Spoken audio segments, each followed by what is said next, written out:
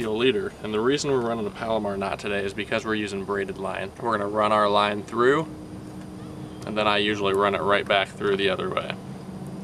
So essentially, you just pinch the line and you run it through just like this. Now this is a simple knot to tie.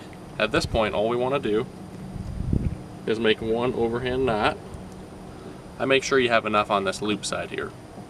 We're gonna make one overhand knot here. And don't pull too tight on that.